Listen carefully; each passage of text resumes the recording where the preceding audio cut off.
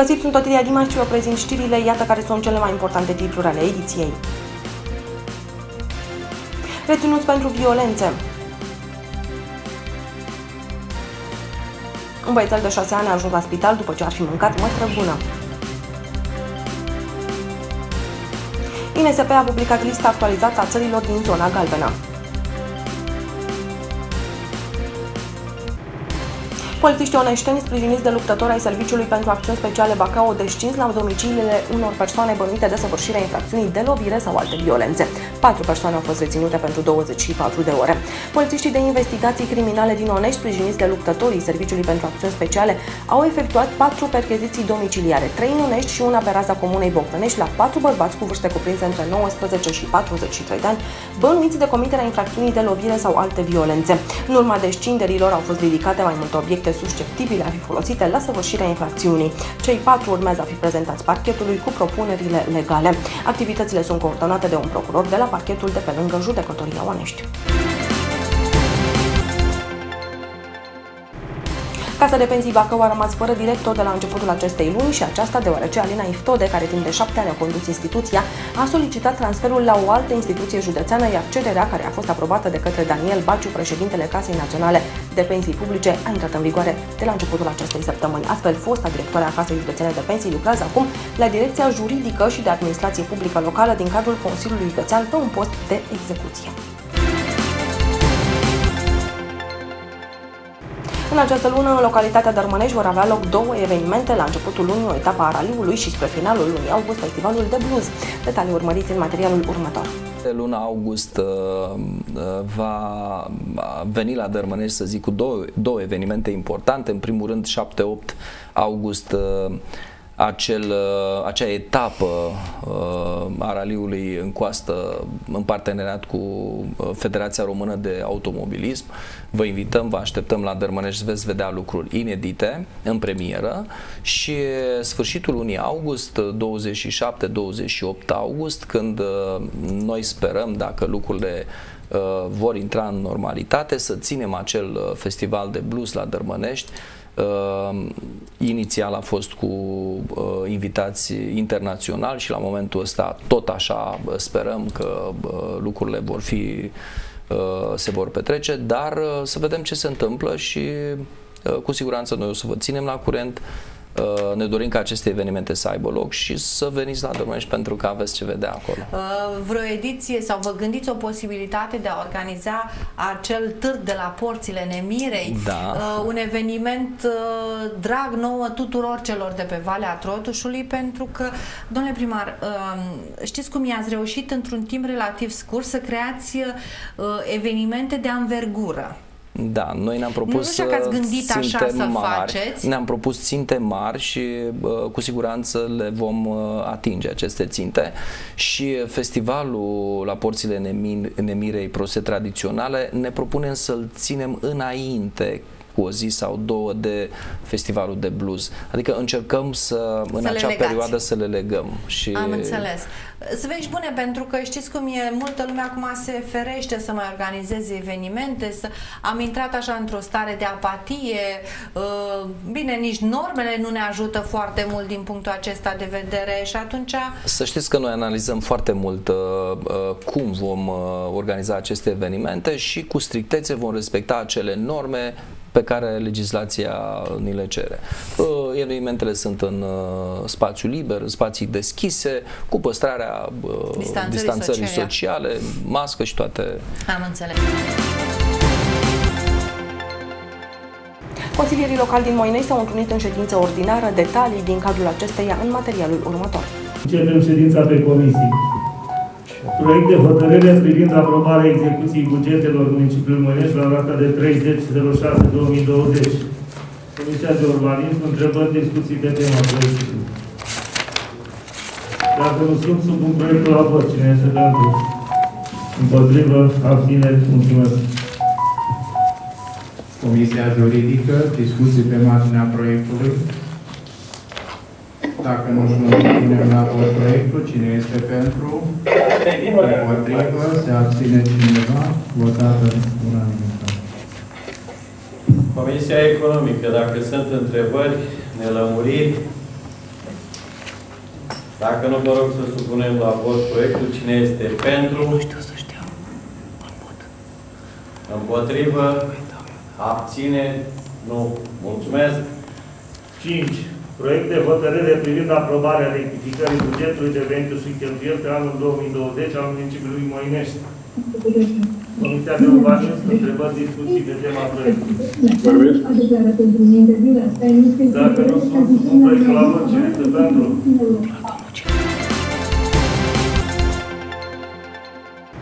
Un băiețel de 6 ani a fost transportat la spitalul de copii din Iași cu elicopterul. Copilul susține mama sa ar fi mâncat fructe sau semințe ce păreau a fi mătrăgună. Băiatul de 6 ani este din satul Tămaș din județul Bacău și a ajuns inițial la unitatea de primiri urgențe din Bacău. Apoi a fost transferat la Iași. Medicul șef al UPUS Murdiaș spune că băiatul a fost transferat cu elicopterul pentru că avea nevoie de îngrijiri speciale la spitalul de pediatrie de la Iași. Băiatul a ajuns la spital cu tahicardie și somnolent. Mătrăguna este considerată o plantă otrăvitoare foarte periculoasă. Institutul Național pentru Sănătate Publică a publicat lista actualizată a țărilor pe care România le consideră zonă galbenă. Cetățenii care vin din aceste țări trebuie să stea în carantină timp de 14 zile la sosirea în România. Republica Moldova, Statele Unite ale Americii și Israelul rămân în continuare în zona galbenă, prin urmare, cei care vin din aceste țări trebuie să stea în carantină. De asemenea, rămân pe listă Muntenegru, Macedonia de Nord și Bosnia-Herzegovina. În schimb, această măsură nu mai este valabilă pentru cei care vin din Serbia ori Rusia, două țări care au ieșit din lista zonelor galbene. Restul statelor care nu apar pe lista galbenă întocmită de România se consideră că sunt în zona verdă și, prin urmare, nu sunt niciun fel de restricții la intrarea în România pentru cetățenii care vin din aceste țări. Artistul oneștean Romeo Efrim s-a stins din viață după o grea suferință, după mai mulți ani de trudă în străinătate. Anul trecut, în ianuarie, Romeo Efrim a trecut printr-o experiență dureroasă. A fost diagnosticat cu cancer, boală ce a afectat mai multe organe. S-a operat, dar din păcate, la un an și jumătate după acea intervenție chirurgicală, s-a stins din viață. Suntem aici, cei de ani și de aici,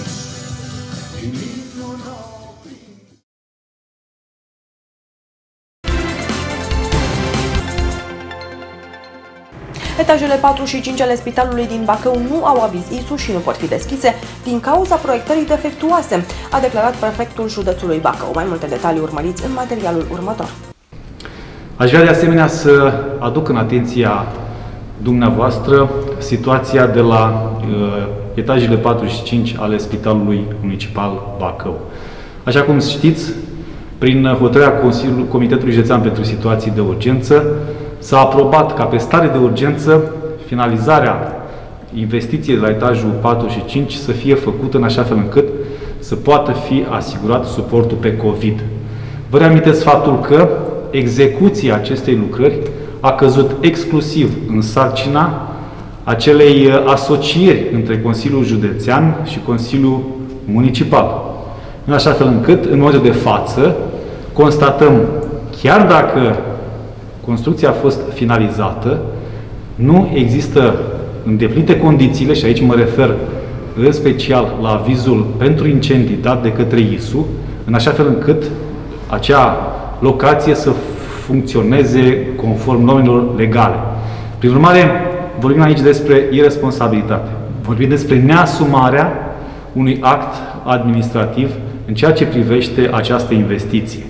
Nu este corect și nu este normal ca persoane care conduc aceste instituții să lanseze în spațiul public uh, informații care duc în zona de dezinformare a opiniei publice. Eu am făcut de la început un apel atât la domnul Necula, domnul Benea, domnul Brașoveanu, ca în această perioadă să strângem rândurile și uniți să trecem prin această situație extrem, extrem de uh, neplăcută. Și constat că, de fapt, singurul lucru care preocupă aceste uh, persoane responsabile este doar intoxicarea și aruncarea în spațiu public al unor informații complet nereale. Nu știu cui folosește acest lucru. Este adevărat că ne apropiem încet încet de campania electorală, dar acest lucru nu trebuie să ne oprească în a prezenta corect care este uh, realitatea. Compania Raja face la Onești una dintre cele mai mari și importante investiții. Municipiul va avea o nouă stație de epurare, scăpând astfel și de amenziile pe care le-ar putea primi pe partea de mediu. Detalii urmăriți în materialul următor. pe care l-am negociat cu Uniunea Europeană și care se află în tratatul de aderare, este singurul capitol din tratatul de aderare al României la Uniunea Europeană care are termene de conformare, cum este și normal. Și aceste termene de conformare, care sunt prevăzute în tratatul de aderare, dar sunt prevăzute și în directive europene, directiva apei potabile și directiva apei uzate, directive care au fost uh, transcrise în legislația românească, atrag răspunderea financiară a României și a comunităților locale pentru neconformare. Adică Uniunea Europeană vrea, și de aia ne ajută cu bani, ca toți cetățenii din localitățile mai mari de 2000, din UAT-urile mai mari de 2000 de cetățeni, să beneficieze de apă de calitate, de acces la servicii de canalizare și toată canalizarea din România, normal, să fie deversată în uh, mediul înconjurător prin stații de epurare. Ce s-ar fi întâmplat? Dacă îmi dați voie să vă spun, vă spun. Dacă municipiul Onești nu era cuprins într-o aplicație declarată eligibilă, cum este această aplicație care am făcut-o împreună pentru Onești, ar fi luat o... Vreau să vă dau cifrele exacte? Da. Întâmplător m-am pregătit pentru... Deci, termenele de conformare au fost pentru uh, apa uzată 31 decembrie 2017, respectiv pentru cealaltă apă 31 decembrie 2018. Termene până la care trebuiau uh, demarate aplicațiile și să convingem Uniunea Europeană de buna noastră credință. Dacă nu am fi făcut ceea ce a făcut Raja la Onești, municipiul Onești ar fi plătit în prima zi de neconformare o sumă forfetară de 1.809.000 euro. Nu, nu, stați o secundă. La început e prima sumă care o plătești, 1.809.000 de euro. Urmând ca pe urmă zilnic, zilnic, zilnic înseamnă zi de zi, 365 de zile pe an, municipiul onest să plătească o amendă care o stabilea Uniunea Europeană, de la minim 2165 de euro la 130.000 de euro, repet zilnic, până la realizarea conformării. Adică putea să plătească și 3 ani de zile, și 4 ani de zile, și 6 ani de zile. Dar nu mai mult de 47 de milioane de euro pe an. Să vă spună domnul primar dacă și-ar fi permis Oneștiul să plătească 47 de milioane de euro pe an. Asta s-ar fi întâmplat dacă Raja, operatorul regional Raja sau alt operator, pentru că în România sunt operatori regional foarte competenți, nu este Raja singur operator regional. Nu ar fi venit în municipiul Onești și nu ar fi Uh, făcut o aplicație care să fie acceptată de Uniunea Europeană, să fie declarată eligibilă, adică să finanțeze Uniunea Europeană și să ne apucăm de treabă. Asta s-ar fi întâmplat. O tragedie financiară pentru municipiul Onești. Lăsând la o parte faptul că noi, din prima zi, 1 iunie 2017, am furnizat apa 24 de ore pe zi. Și nu ne-am încălcat cuvântul. În ceea ce privește, dacă îmi permite și mie puțină maliciozitate, aceasta este averea pe care Raja a furat-o oneștenilor. E una dintre averi. Dar va pune în loc ceva similar cu aici. Hai să fim serioși. Parcă, parcă din când în când ar mai trebui și un mulțumesc. Nu mă înjurături. Din partea cui? Din partea beneficiarilor, a cetățenilor care se bucură de apă 24 de ore pe zi, ferii, pentru că până la 1 iunie 2017, dacă vorbim de calitatea vieții, cum închipi o calitatea vieții, aveau apă 2-3 ore dimineața, 2-3 ore după masă. Cât va costa, domnul Stroie, apa asta? Apa asta nu va, va deocamdată la apă plată, sunt apa de băut, suntem pe locul 12 și tot deocamdată suntem pe locul 2 pe țară la canalizare epurare. Dar avem de ales uh, ferii. Deci avem de ales. Nu, nu, nu, nu, nu, nu, nu, nu, nu, o secundă. Dar avem de ales. Hai să plătim zeci de milioane de euro, să nu ne conformăm. Hai să plătim. Băi fraților, un pachet de țigări e între 21 de lei și 40 de lei pachetul. Care fumează sub ranii negre, eu nu sunt fumător. Costă 40 de lei și cele mai proaste costă 20 de lei. Hai să fim serioși. Un, un necesarul de apă al unui cetățean, în conformitate cu statisticile Uniunii Europene, nu din Bangladesh, este de 128 de litri de apă pe zi. adică în jur de circa 4 metri cub de apă pe lună, 3,9. 4 metri cub de apă pe lună. Dublat cu 4 metri de canalizare înseamnă 8. Înseamnă două pachete de țigări. Asta înseamnă apa pe care o plătește un cetățean astăzi. Am prins exact ultimul tren și oneștenii trebuie să înțeleagă un lucru. Și eu cred și este firesc că fiecare om trebuie să beneficieze în acest secol de apă. Dar uh, în foarte multe lucruri nu se întâmplă lucrul acesta sau uh, se întâmplă fie cu Nici un... la noi nu se întâmplă acum patru ani. Am Și am uitat. Am uitat când aveam 3 ore dimineață, 3 ore Știu. seara de apă, dar nu aceasta este problema. Problema este următoarea. Pe programul de finanțare POIM, municipiul Onești nu se afla în master plan nici pe județul Bacău, nici nicăieri. De ce? Pentru că acest serviciu public de alimentare cu apă și canalizare era administrat, să spun, de către o companie uh, privată căruia nu îi se delegase acest serviciu. Și compania aceasta nu intrase în aplicația pe POIM pe județul Bacău. Toată infrastructura de apă și canal în județul Bacău va fi modernizată pe bani europeni. Dar încă nu știu să fi semnat Crabu, municipiul Bacău, contractul de finanțare.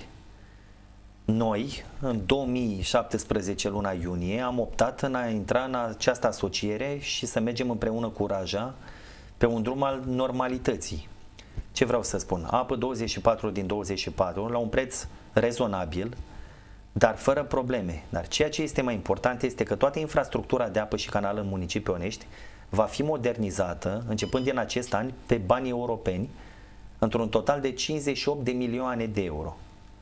În cele mai Dacă- mari investiții din Onești. Dacă nu intram, dacă nu delegam serviciul către Raja, de unde am fi obținut noi banii pentru modernizare? Pentru că municipiul Onești nu putea aplica el singur, ci doar dacă se afla într-o asociere acesta cum este Raja sau cum este Crabu. Ce riscam? Că aici este foarte important să discutăm. Dacă nu prindeam acest al 12-lea tren și mă refer aici că am avut ocazia să intrăm în, aso- în, în această asociere cu Raja și am obținut banii pe fonduri europene semnând contractul de finanțare alături de Raja, trebuia să modernizăm infrastructura de apă și revenim și vorbesc acum puțin despre canalizare. Începând din acest an,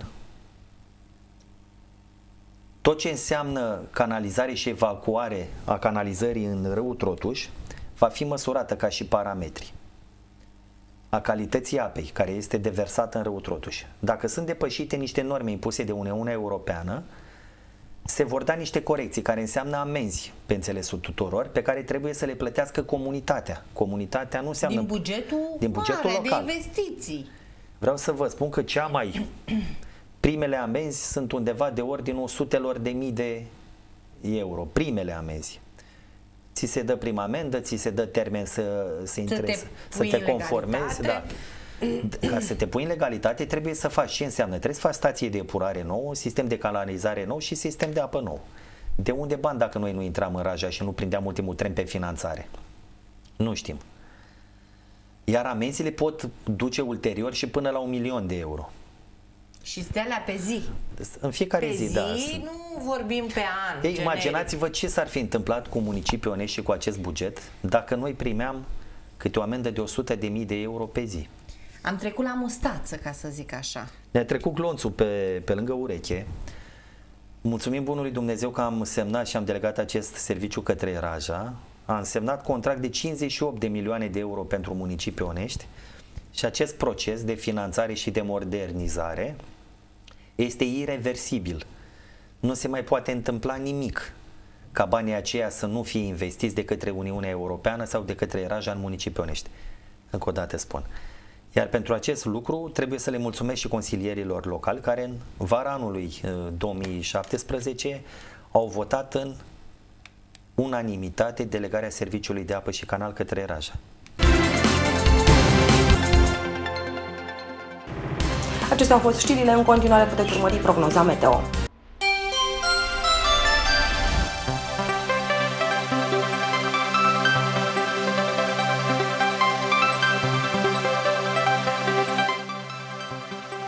Miercuri 5 august va fi cald cu o maximă de 29 de grade Celsius, minima va fi de 13 grade Celsius. Joi 6 august va fi parțial însorit cu o maximă de 30 de grade Celsius și o minimă de 18 grade Celsius. Acestea au fost informațiile. Vă doresc o zi frumoasă. La revedere!